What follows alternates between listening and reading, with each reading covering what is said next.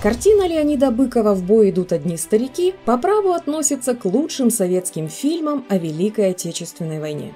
Режиссеру удалось создать поистине уникальное кино, в котором на фоне суровых будней войны находится место чему-то светлому – дружбе, преданности, любви и, конечно, музыке. И сегодня мы поговорим о том, как снимался этот фильм и что осталось за кадром. Кто стал прототипом главных героев и какие сцены были взяты из реальной жизни? Почему лента о поющей эскадрилье едва не легла на полку? И кто помог ей выйти на экраны? Где сейчас находится самолет маэстро и что общего между ним и российским внедорожником? А еще узнаем, о чем Леонид Быков мечтал всю свою жизнь и на что ему пришлось пойти ради этой мечты.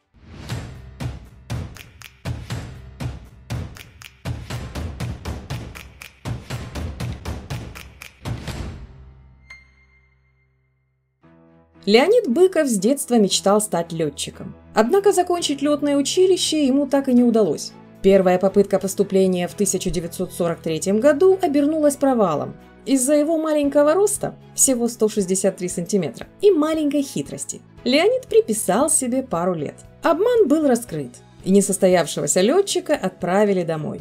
Во второй раз настойчивый парень все-таки поступил во вторую ленинградскую спецшколу военно-воздушных сил – в 1945 году. Однако война закончилась, и учебное заведение расформировали. Но, несмотря ни на что, Леониду Быкову удалось стать летчиком. Правда, не в реальной жизни, а на экране. В его собственной картине в бой идут одни старики. Сценарий фильма Леонид Федорович написал в соавторстве с Евгением Анаприенко и Александром Сацким. В его основу легли воспоминания прославленных летчиков Советского Союза и подлинные события времен Великой Отечественной войны. Однако наверху сценарий забраковали, заявив, что вся эта история больше похожа на оперетту. Вместо того, чтобы самоотверженно защищать родину в боях, герои распевают песни. Но Быков не отчаялся. Бывая на гастролях в разных городах Советского Союза, он стал зачитывать со сцены отдельные эпизоды из сценария, чем вызвал у публики настоящий восторг. Кроме того, идею снять подобную картину поддержали и бывшие фронтовики. В итоге киноначальство сдалось, и сценарий был одобрен. В феврале 1973 года стартовал подготовительный период. Большую помощь в работе над фильмом оказал маршал авиации, легендарный летчик, трижды Герой Советского Союза Александр Иванович Покрышкин. Именно к нему Леонид Быков обратился с просьбой выделить несколько самолетов для съемок.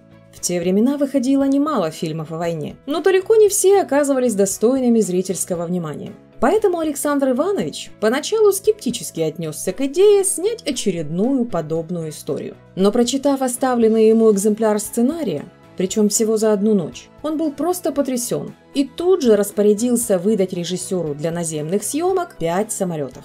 Четыре учебно-тренировочных Яка и один чехословацкий Злин Z-326, которому предстояло на время перевоплотиться в Мессершмитт. Машины были доставлены на место съемок, на киевский аэродром «Чайка», где их перекрасили и придали соответствующий внешний вид. А вот с бипланом У-2 помог начальник военно-воздушной академии имени Гагарина маршал авиации Сергей Руденко.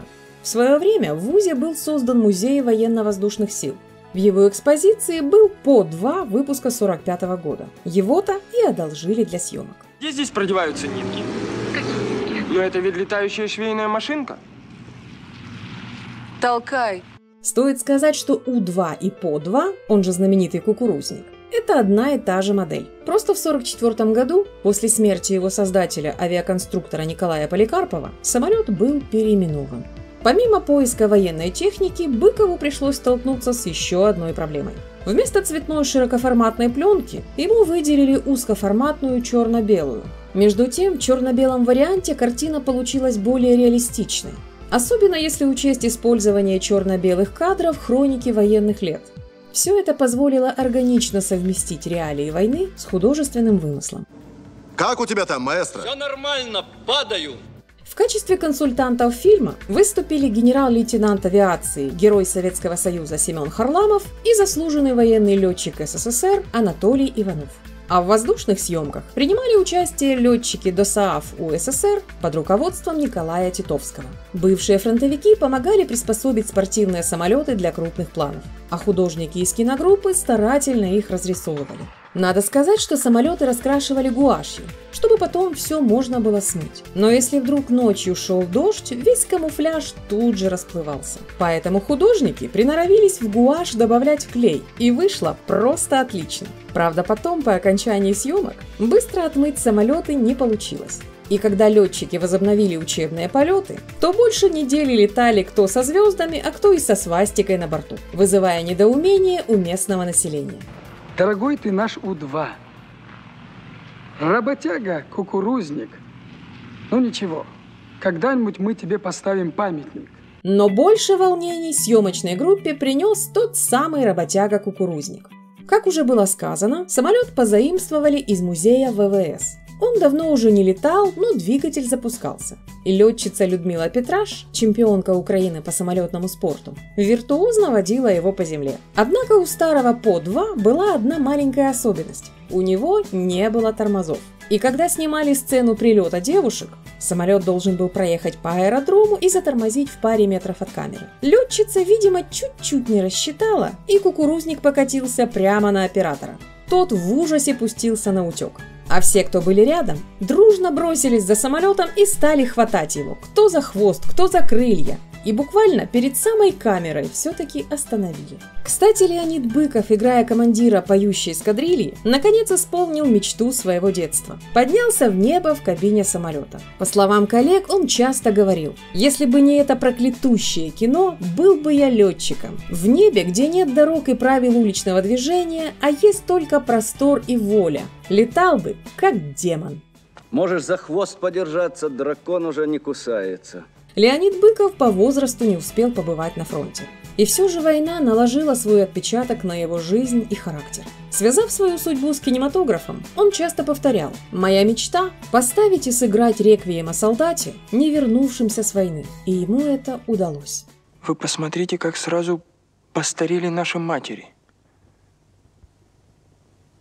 Как сразу в фильме «В бой идут одни старики» Леонид Федорович побывал по обе стороны камеры, выступив в качестве режиссера и главного героя картины. Командира эскадрильи капитана Титаренко, в котором было неистребимое мальчишеское лукавство и в то же время тяжкий груз понесенных утрат. Будем жить, пехота.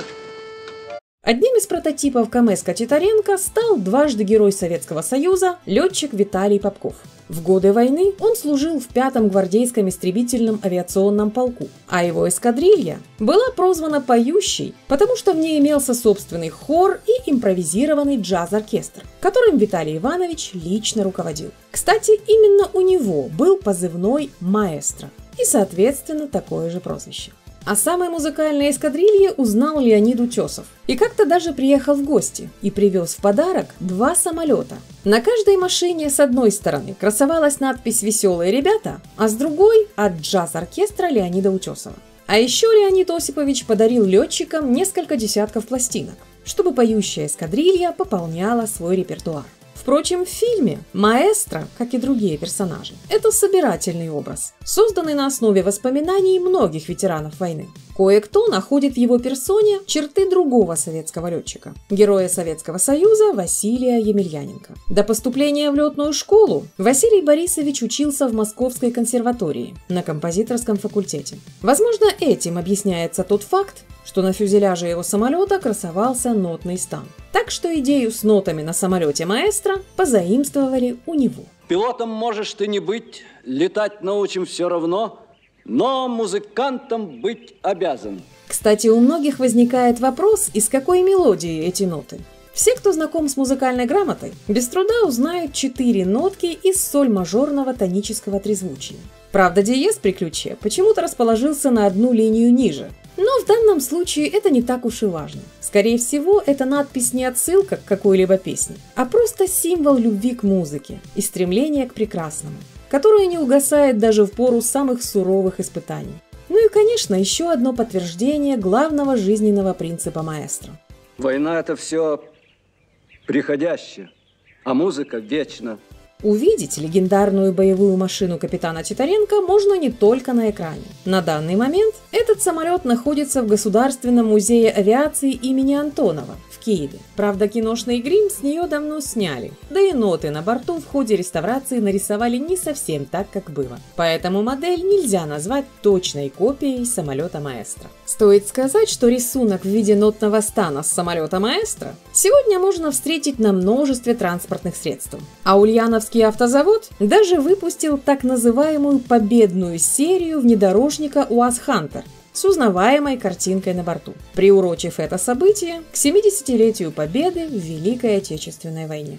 Э, ребята, я же свой, советский. А, значит, свой советский. Я! Что касается полета маэстро на трофейном Мессершмитте, закончившегося потасовкой с пехотинцами, подобные случаи, как оказалось, бывали на самом деле. Наши летчики, как, впрочем, и немецкие, нередко использовали для разведполетов трофейные самолеты.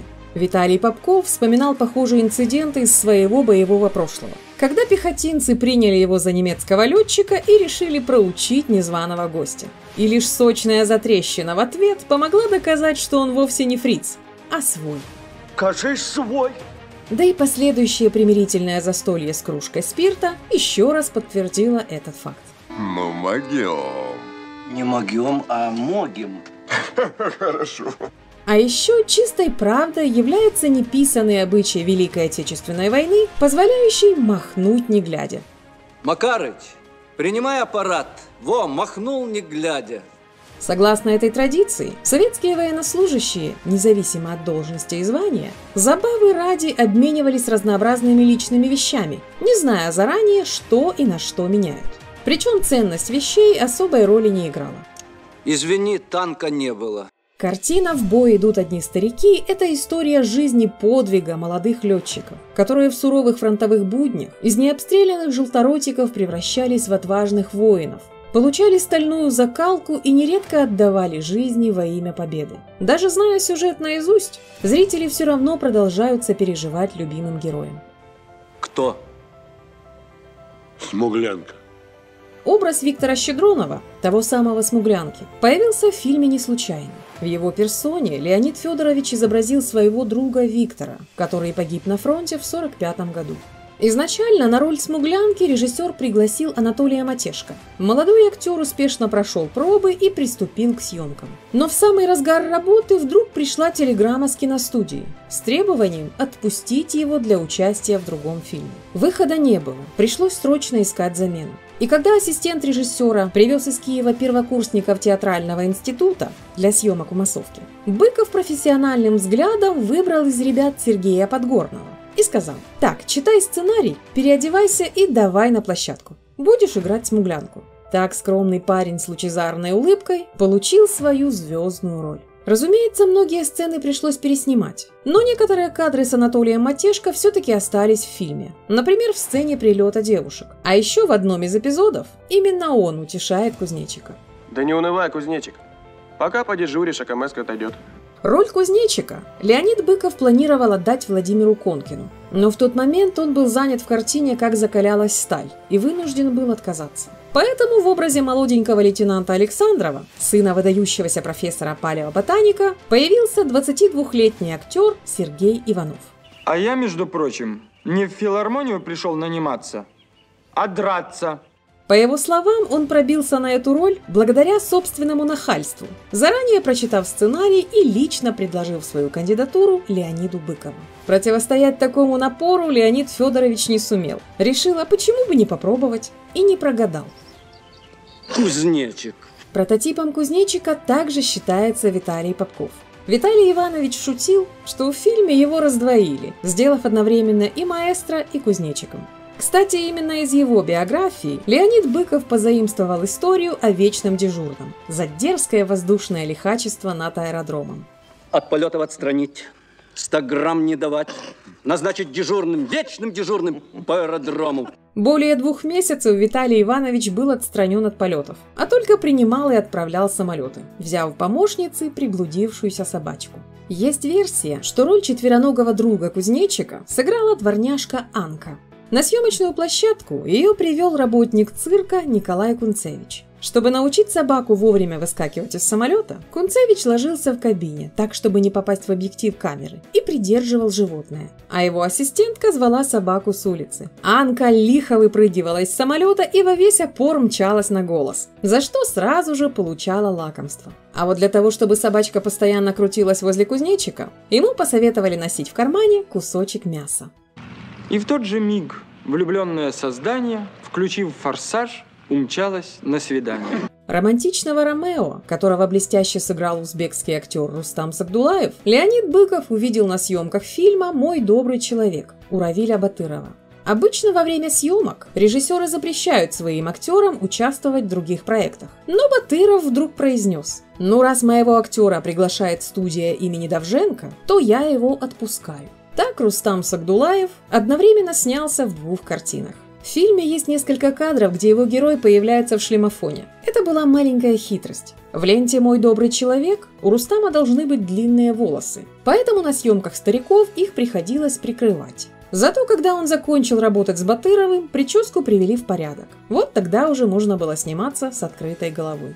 Кстати, при первом просмотре рабочего материала актер настолько себе не понравился, что даже подумывал уйти с картины. Слабак. К счастью, режиссер его уговорил. Леонид Быков умел находить нужные слова, чтобы подбодрить и вдохновить своих актеров. Рахмат Джонаки, Что? спасибо по-узбекски. Будь ласка. Не понял. Пожалуйста, по-украински. Рустам Сагдулаев до сих пор с теплом вспоминает процесс съемок, своих коллег и душевную атмосферу на площадке. Как толкали в кадре сломавшийся У-2, а поодаль от камеры, всего в нескольких метрах. Вану Янбелидзе, игравший летчика из Грузии, готовил невероятно вкусный шашлык для всей съемочной группы. Были совместные посиделки, приятное дружеское общение, шутки, смех и, конечно, романтика. Это по-узбекски. Я люблю вас, Маша. Трогательный дуэт лейтенанта Сагдулаева и летчицы Маши в исполнении 18-летней Евгении Симоновой стал украшением картины и запомнился многим зрителям. Им даже роман приписывали. Но сами актеры утверждают, что это все выдумки. Евгения Павловна рассказывает, что на пробах очень смущалась. Но Леонид Быков просто пожал ей руку, и все прошло. Была маленькая проба, и режиссер сразу ее утвердил. Впоследствии актриса называла работу с Быковым подарком судьбы, а его самого – своим крестным отцом в кино. По сюжету фильма Маша была из женской авиачасти. Во время войны в составе советских ВВС действительно существовал женский авиационный полк, получивший прозвище «Ночные ведьмы». Все их боевые вылеты были исключительно ночными. Девушки летали на легких бипланах У-2. Добираясь до цели, они отключали моторы, практически беззвучно планировали и сбрасывали бомбы на вражеские позиции. Есть версия, что у Ромео и Маши были реальные прототипы. Летчик из Узбекистана Николай Марисаев и его возлюбленная Галина Туберелидзе. Правда, в отличие от фильма, девушка была не летчицей, а оружейницей и погибла во время бомбовой атаки на аэродром. А через некоторое время не стало и Николая. Командир, я сел. В роли Зои на экране появилась Ольга Матешко, сестра актера Анатолия Матешко. Актриса вспоминает, что очень волновалась перед танцевальным эпизодом. Говорили, что их будет учить профессиональный хореограф. Однако на репетиции он так и не появился. И в качестве преподавателя танцев выступил сам Леонид Быков. Режиссер пригласил актрису на танец, и всю ее скованность как рукой сняло. Повторяя движения за Леонидом Федоровичем, все, и желторотики, и старики, танцевали настолько самозабвенно, что даже забыли, что время репетиции давно истекло. Причем словесных объяснений по сцене режиссер не давал, а актеры уже знали, как надо вести себя в кадре. Летать не умеют. Стрелять тоже пока не умеют. Но орлы. В целом, эпизод с визитом девушек привнес в сюжет нотку романтики и очарования. Прототипом летчицы Зои стала Надежда Попова, заместитель командира эскадрильи женского авиаполка, тех самых ночных ведьм. В отличие от своей героини, она прошла всю войну и позже вышла замуж за летчика истребительного полка, героя Советского Союза Семена Харламова, который выступил консультантом фильма. Надежда Васильевна не отставала в храбрости от своего супруга и тоже была удостоена звания Героя Советского Союза. Они поженились после войны и прожили вместе 45 лет. Внимание некоторых зрителей привлекла куколка в военной форме. Подобная игрушка была у летчицы Галины Докутович, штурмана женского авиаполка, прозванного «Ночные ведьмы». Эту куклу ей подарил знакомый летчик, и девушка всегда брала ее с собой на задание. И лишь однажды Галя в спешке позабыла свой талисман. Кто знает, мистика это или случайность, но с этого задания девушка не вернулась. Как не вернулись из очередного боя и героини фильма. Сцена, где маэстро Макарыч и Кузнечик обнаруживают памятник погибшим летчицам, была очень эмоциональной. На кинопробах актеры, а с ними и вся съемочная группа, украдкой утирали слезы. Алексей Смирнов, сыгравший механика Макарыча, сам прошел всю войну и был не понаслышке знаком с ее ужасами.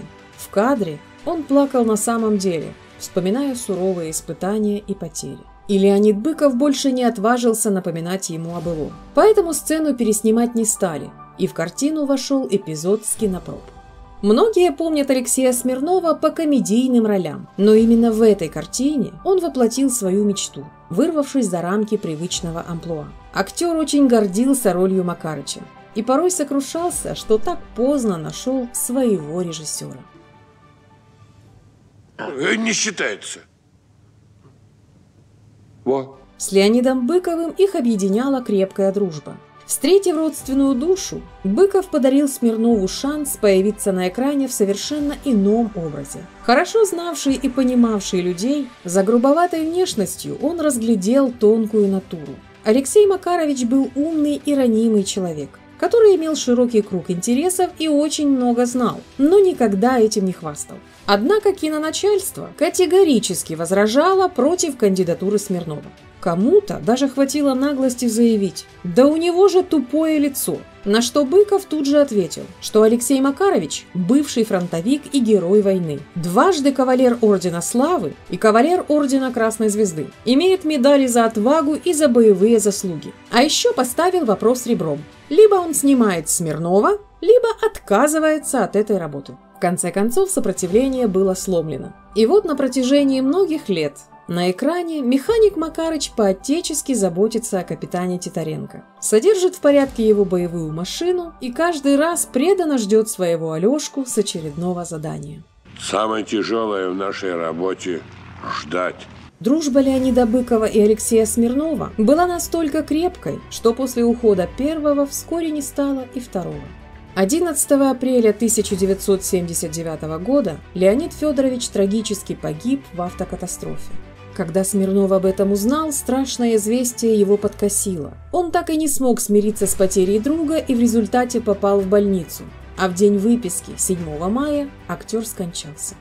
Память об Алексее Смирнове бережно хранят на его родине, в городе Данила в Ярославской области. В 2016 году там открыли кинотеатр под названием «Макарыч», в честь героя, которого сыграл их знаменитый земляк. На территории Харьковского университета воздушных сил имени Кожедуба, а также на аэродроме Дягилева в Рязани механику Макарычу установили памятники. А на студию Ленфильм в феврале 2020 года, в год столетия Алексея Смирнова, была торжественно открыта мемориальная доска. Коллеги вспоминают, что изначально на роль механика Макарыча был утвержден актер Черниговского драматического театра Виктор Мирошниченко. Но поскольку Быков настоял на кандидатуре Смирнова, Виктору Николаевичу досталась роль командира полка. Здорово, батя. Здорово, черт везучий. Образ Бати актер взял из реальной жизни. В свое время он служил в Прибалтике, в каком-то летном полку истребительной авиации. И там у них был старшина. Душевный человек, который заботился о солдатах, как о собственных сыновьях, за что они прозвали его батей. Именно его черты Виктор Мирошниченко воплотил на экране в образе комполка. Правда, была одна проблема. По сценарию он сибиряк, с эдакой широкой душой и с характерной речью. Поэтому актер сомневался, удастся ли ему в этой роли выразить сибирский колорит. Но Быков ответил, да ты, Витя, не волнуйся, раскрепостись и давай с черниговским колоритом. Так и появился на экране командир полка Ермаков. Пусть даже с украинским акцентом. Но другого актера на его месте сегодня сложно представить. Пацанов не брать. Бой идут одни старики. Старшего лейтенанта Скворцова, который переживал душевный кризис, но сумел победить собственные страхи, блестяще сыграл актер студии Давженко Владимир Талашко. У его героя был реальный прототип – летчик Владимир Барабанов, служивший в одном полку с Виталием Попковым. Виталий Иванович вспоминал, что как-то во время тяжелой схватки с врагом у Владимира дрогнуло сердце, и он самовольно вышел из боя. Ребята из эскадрильи все дружно ополчились против него. Но Виталий Попков не стал докладывать начальству об инциденте, а поговорил с ним по душам и помог взять себя в руки. Знаешь, Серега, в жизни бывают минуты, когда человеку никто, никто не может помочь. Рождается сам и умирает сам. И в следующем бою тот одержал победу, сбил два вражеских самолета. Судьба Владимира Барабанова сложилась так же, как и у Сергея Скворцова. В тяжелом бою в его самолет попал зенитный снаряд, и он направил горящую машину на немецкую автоколонну. А на прощание произнес ставшую впоследствии крылатой фразу Ребята, будем жить! Отдельно стоит сказать о красавце-летчике по фамилии Алябьев – на самом деле киношный сибиряк был родом из Винницы, и сыграл его актер киностудии Давженко, добрый друг Леонида Быкова Алим Федоринский. Образ летчика Алябьева тоже символичен. Во время войны, когда семья Леонида Быкова находилась в эвакуации в Барнауле, их приютила в своем доме семья Алябьевых. Хозяева делили с Быковыми кров и хлеб, а маленький Леня подружился с их сыном Колей. Ребята вместе играли и даже спали на одной кровати. В благодарность за доброту и гостеприимство в те суровые времена Леонид Федорович решил увековечить эту фамилию в своей картине, дав ее одному из летчиков и по совместительству баянисту второй поющей эскадрильи. Алим Владимирович вспоминал, что изначально у его героя было больше реплик в сценарии. Но так вышло, что актер простудил лицевой нерв, и половину лица парализовало. В итоге он попал в больницу на полтора месяца, поэтому роль Алябьева пришлось немного сократить. Зато на съемках актеру удалось полетать. Вместе с летчиком Виктором Соловьевым они поднимались в воздух на самолете, изображавшем трофейный Мессершмитт. А еще удалось с коллегами прямо в кадре покушать аппетитных вареников. Кстати, самым большим ценителем этого блюда был актер Александр Немченко. Зная его страсть к вареникам, режиссер решил эффектно обыграть ее на экране. В картину «В бой идут одни старики» актер попал, будучи студентом Киевского театрального института. Леонид Быков пришел прямо в ВУЗ в поисках молодых актеров, которые умели бы петь и играть на музыкальных инструментах. Режиссер объяснил, что фильм будет о войне, и попросил спеть любую песню военных лет. Но Александр так разволновался, что сумел вспомнить лишь одну композицию. Громко объявил «Песня дезертира» из фильма «Бумбараш» и спел так чисто и звонко, что и сам не ожидал. Закончив песню, в ужасе поднял голову на Быкова. А тот вдруг сказал «А ты знаешь? Ничего». Насчет темы ты, конечно, погорячился, но зато искренне и очень задорно. Годится. Актер вспоминал, что после выхода «Стариков» на творческих встречах к нему и коллегам-артистам часто подходили зрители и благодарили за победу. В глазах публики они настолько слились с персонажами фильма, что кое у кого в самом деле сложилось мнение, будто бы они летчики-фронтовики. Правда, когда актера спрашивали, сколько часов он налетал, Александр честно признавался, что нисколько. И в самолете на самом деле его укачивает. Но когда играл в фильме, старался выглядеть настоящим бойцом. Бесспорно. И ему, и его коллегам это удалось. Ты Енисей видел? Не видел.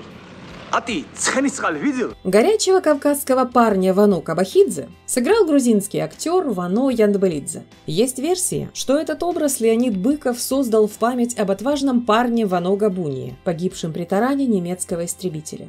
А в образе лейтенанта Воробьева выступил Вилорий Пащенко. Кстати, единственный из актеров, сыгравших летчиков второй поющий, у кого было музыкальное образование. Вилорий Иванович вспоминает, что ту самую знаменитую смуглянку режиссеру напел именно он. С его ли подсказки, или Быков сам планировал использовать эту композицию? Но смуглянка вошла в картину и стала ее визитной карточкой. Крон зеленый лист резной, Я влюбленный и смущенный пред тобой. Будучи подростком, Леонид Федорович впервые услышал эту песню в поезде. В вагоне ее пели друзья-фронтовики. Зажигательная мелодия так запала в душу юному мечтателю, что он пронес ее через всю свою жизнь и заново открыл публике в своей картине. Авторами «Смуглянки» были поэт Яков Шведов и композитор Анатолий Новиков. По разным версиям, она была написана в 1939 или 40 году, как песня о бессарабских партизанах, героях гражданской войны. Но на тот момент особой популярности не снискала. Ее называли слишком легкомысленной и чуждой советскому человеку в такое сложное время. Со сцены она была исполнена всего один раз. В 1944 году ее спел краснознаменный ансамбль имени Александрова. А потом о песне словно забыли, и через несколько десятков лет «Смуглянка» родилась второй раз. В фильме «В бой идут одни старики». Примечательно, что в рамках этой картины песня уже воспринималась как история о партизанах времен Великой Отечественной войны. Кто сказал, что надо бросить песни на войне? После боя сердце просит музыки вдвойне. От винта Стоит сказать, что за три года до трагической гибели Леонид Быков оставил письмо завещания, в котором просил, чтобы на его могиле актеры, сыгравшие летчиков второй эскадрильи, спели «Смуглянку» от начала и до конца. Его просьба была исполнена. 13 апреля 1979 года на Байковом кладбище, не сумев сдержать слез, вторая поющая в последний раз исполнила своему командиру его любимую песню.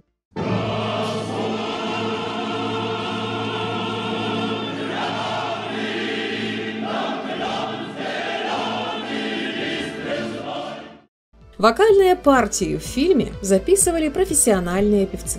Так, в начале картины «Смуглянка» звучит в исполнении Мурада Садыкова. Мелодичную украинскую песню на слова Михаила Старицкого «Ничья комисячна» спел Николай Кондратюк.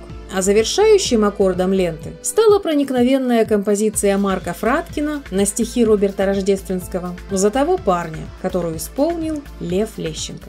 Даже не был я знаком с парнем, обещавшим я вернусь, мама.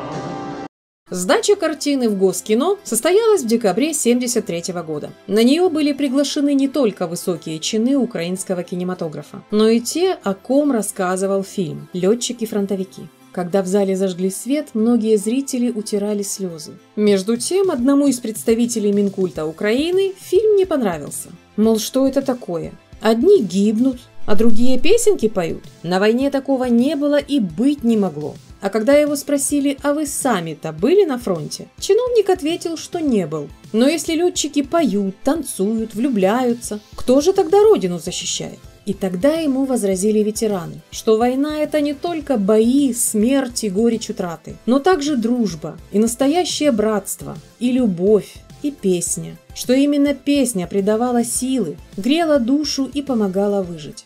Горячо отстаивал картину и главнокомандующий ВВС, главный маршал авиации Павел Кутахов. Свое слово сказали и Александр Покрышкин, и Виталий Попков, и все-таки отстояли. Правда, скорее всего, самыми убедительными доводами стали не слова, а звания и звезды героев Советского Союза.